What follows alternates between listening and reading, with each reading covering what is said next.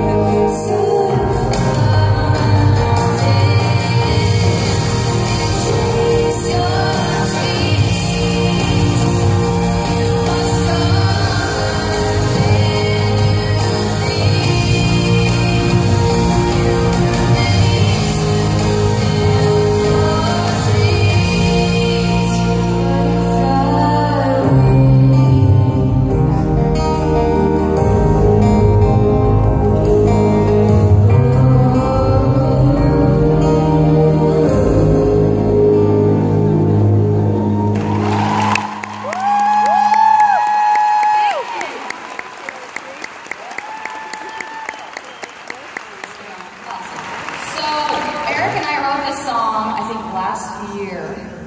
Was it the beginning of this year, maybe?